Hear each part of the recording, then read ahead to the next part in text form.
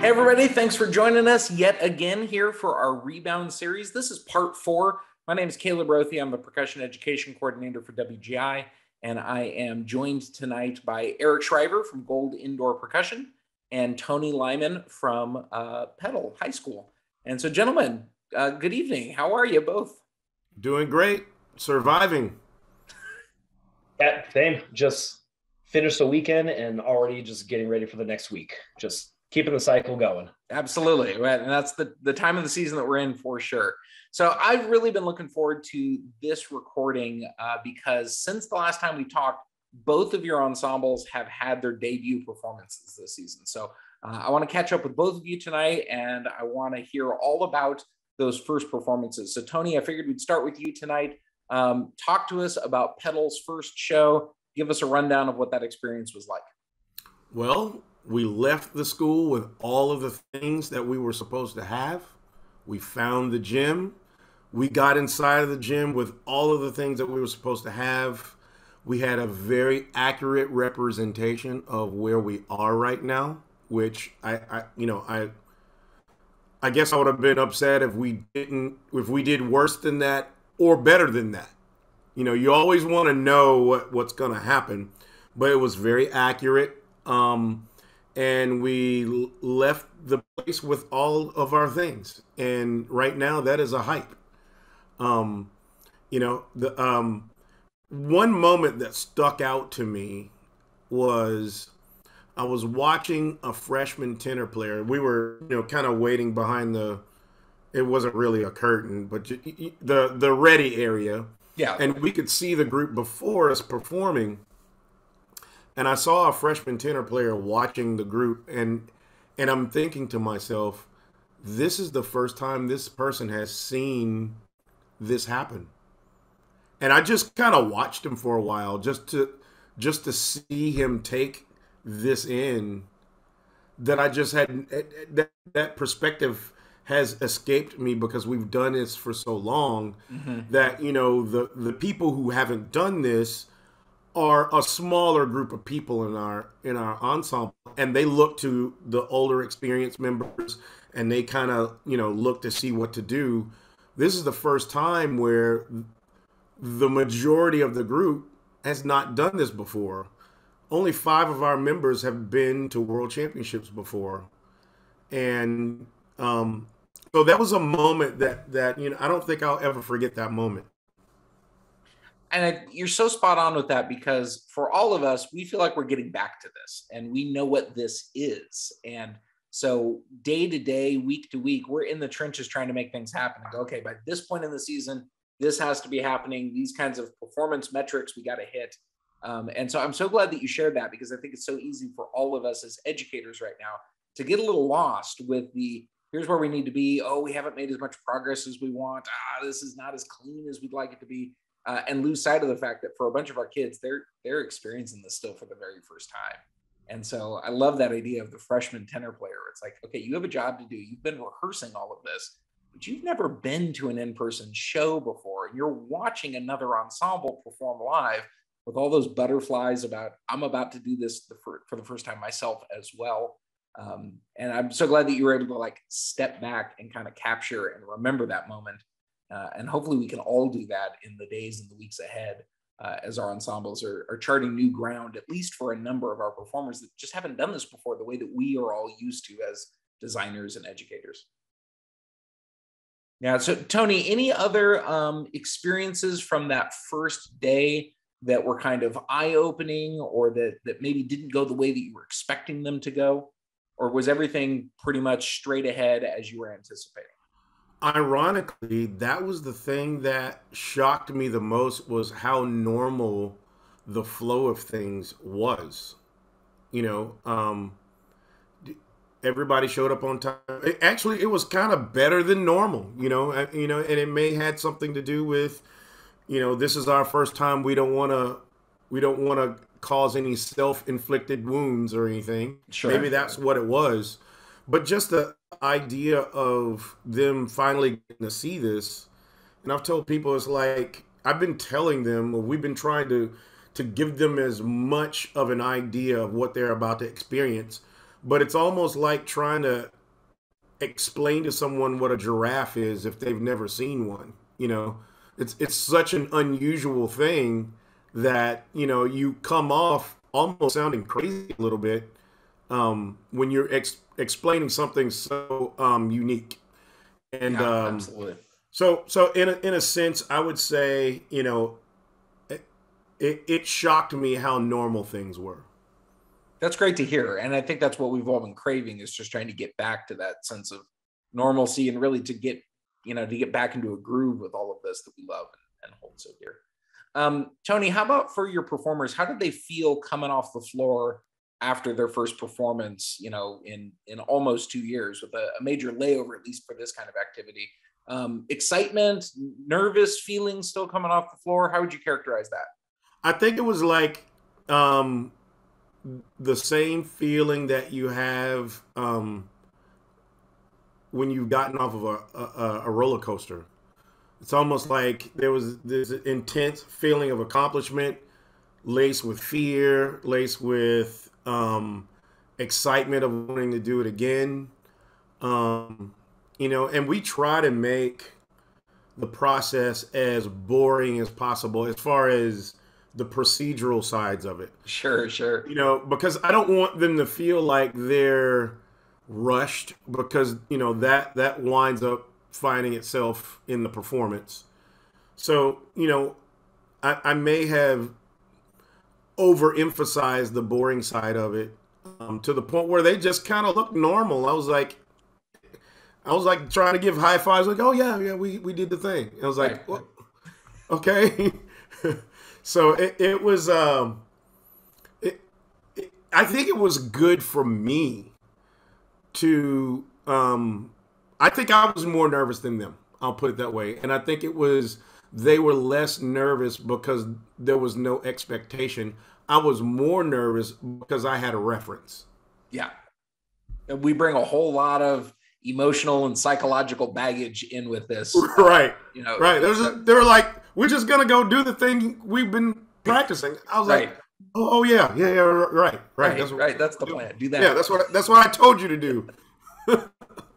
And Tony, lastly, how about for the parents of Petal High School? How did the first in-person performance go for them in quite some time? Also business as usual or anything interesting there? They were just so happy for the kids. They were taking pictures of unloading the truck and plugging in cables and I mean I think you could make a, a, flip book movie out of the pictures that were taken, and you you get a whole film of what happened. Sure. There was just so many pictures and video taken. And normally, I don't like for you know first show video to get out, but I was like, I, I don't post whatever, do whatever. You know, we are who we are right now. You know, so yeah, it, the parents were um, very excited to be in a performance situ- situation just to see their kids out there um, and to see the result of all of this toil you know that we've kind of been putting them through that that seemed endless and without any kind of payoff other than exhaustion yep yep yeah all stick and no carrot up until the first right. time we get out there on the floor we got a carrot yep um i love the idea of parents capturing the mundane about the first show, just everything. Mm-hmm. Photos of unloading the truck and you know putting a mallet in a bag and all that other kind of stuff. Yeah. Um, it all feels special again. All the stuff that we took for granted. That right. I love the idea of we're chronicling all of these things to you know hopefully never take any one of those pieces for granted. Right. Eric, how about for you and Gold? And I know this was interesting. It was Gold has had now not only their first show, but it was at a WGI regional as well. Um, talk to us about that experience. Um, it's, it's a pretty daunting task to come out at a regional. And um, anybody who's aware of the SoCal scene, like just going into a WGI regional is um, it's tough. So there's a lot of pressure on that. Um, for us, we just, I mean, I think we did a really good job about keeping the blinders on. Like it's all gold all day. Like we have to just focus on ourselves.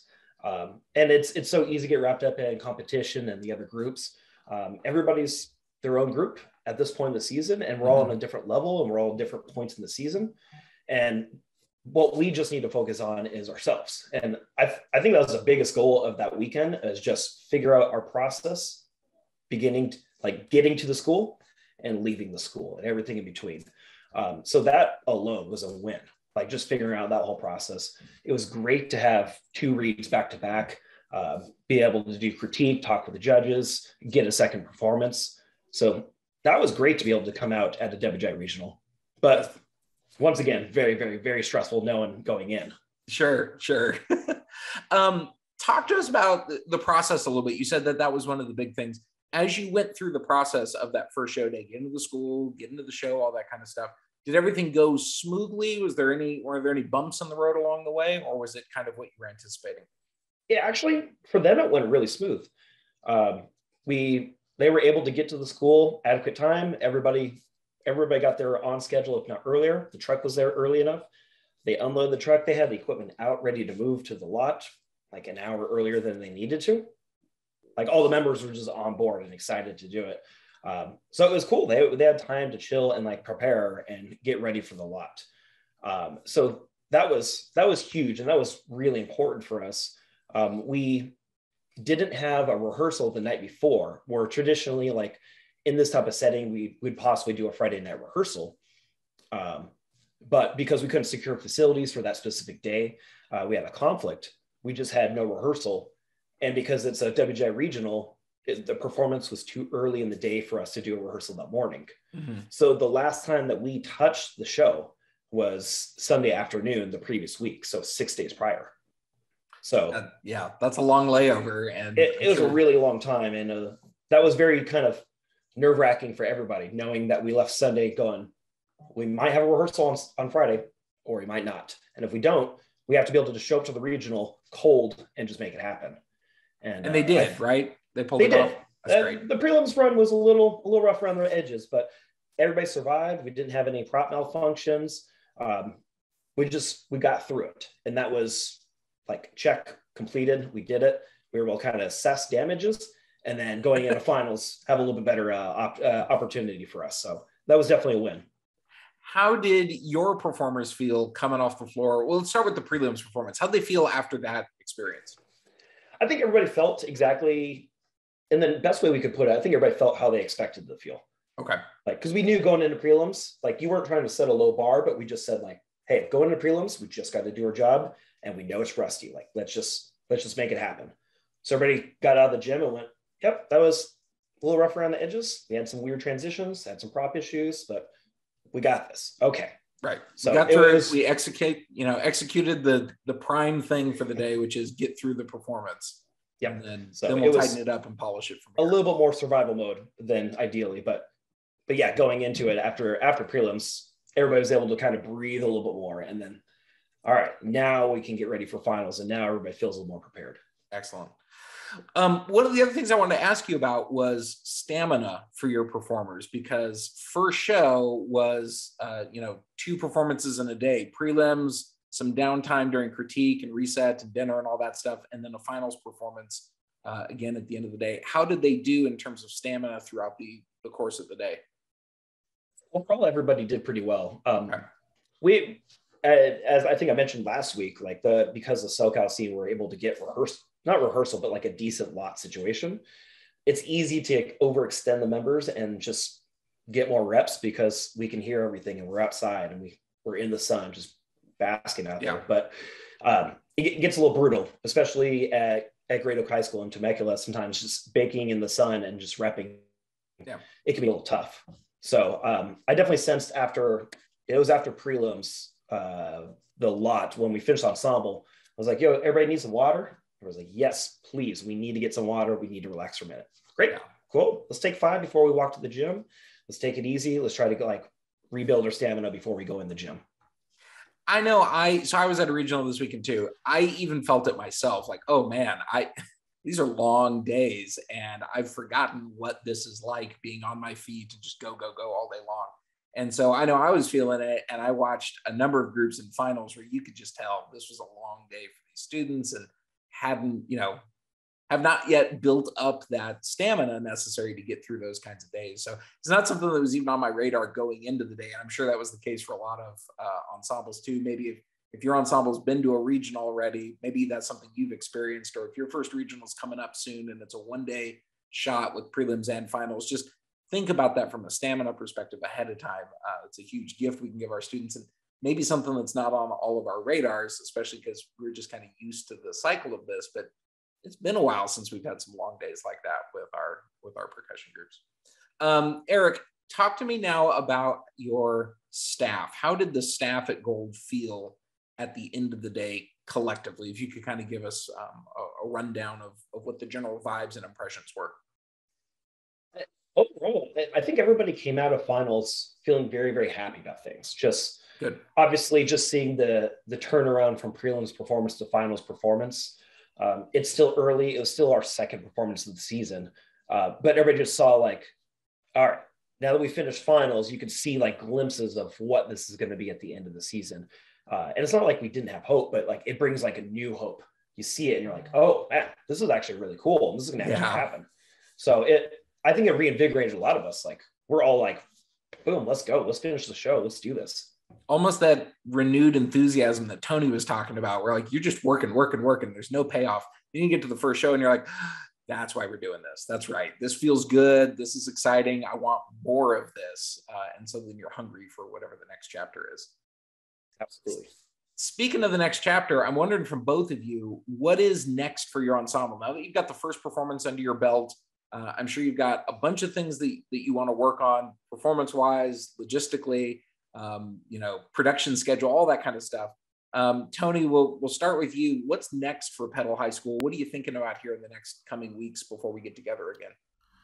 Well, we have uh, an even bigger daunting task because in 11 days, we have to have the show finished. And we also hope it's for a regional and a regional that we host, which is the Hattiesburg regional. Um, so uh, not only for me in the director's chair am I, you know, trying to keep the production timeline on schedule, but I also have uh, an army of parents who haven't hosted a regional before. Mm-hmm. So I have to uh, coach them up on that while coaching up the students on how to be at a regional. This is what two a day is like, and you know, all of those things. So, um, today I had conflicting feelings where I was just so happy that we made this happen, but then I looked at the list of things that need to be done, and it was much larger than the list we have done. And uh, there was a moment where I just kind of felt the walls closing in, and I was like, and and then I read something that Tim Fairbanks actually posted on social media. He was talking about, you know, you know, like this is our performer's first time. Like he saw his performers without masks for the first time in the performance, you know, and that that there's something special about that, and that we're all in the trenches here trying to get the kids back to just engage engaging with one another and then much larger than that engaging with an audience and making your personality so big that you can engage an entire arena of people mm-hmm.